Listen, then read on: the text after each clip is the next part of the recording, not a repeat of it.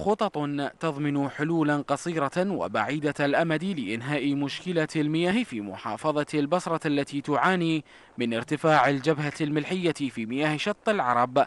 تمت مناقشتها في المؤتمر العلمي الذي نظمته وزارة الموارد المائية بحضور أساتذة وباحثين مختصين من جامعة البصرة لغرض إيجاد حل لأزمة أثقلت كاهل البصريين. مؤتمر علمي للباحثين لتقديم رؤاهم ومعالجاتهم لهذه الظاهرة.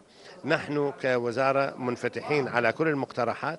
هناك أيضا قرار حكومي بهذا المجال أنه التوجه إلى استشاريين دوليين للمزيد من توضيح بشكل حيادي مقترحاتنا ليستطيع الوزارة تقوم بها أو الجهات الأخرى. مشكلة الملوحة هي تحدي كبير.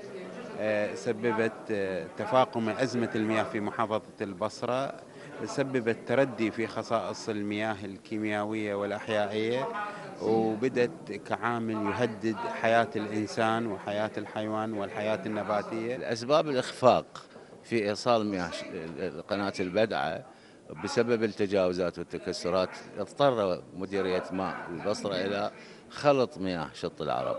لكن هذا في الوقت الحاضر لم يعد لم يعد هذا مجديا بالحقيقة هو يسبب الضرر. أغلب البلدان المجاورة للعراق تعتمد على مياه البحر من خلال محطات التحلية، لكن في العراق حتى اللحظة لم تنشأ محطة حديثة توفر المياه الصالحة للشرب، فيما يؤكد مختصون وجود محطتين في محافظة البصرة أنشئتا منذ سنوات لكن متوقفتان عن العمل حتى يومنا هذا. من 2009 عندنا محطتين تحلية مياه بحر واحدة بالفاو واحدة بالسيدة لكن لم تستخدم ولا ساعة.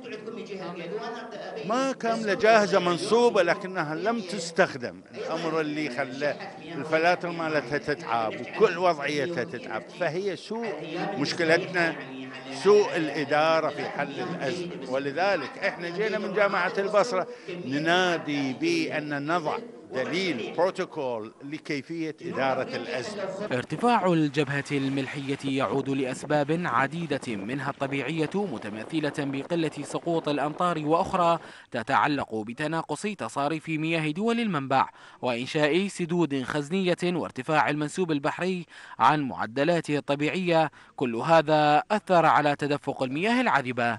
من بغداد جابر جمال قناة الرشيد الفضائية.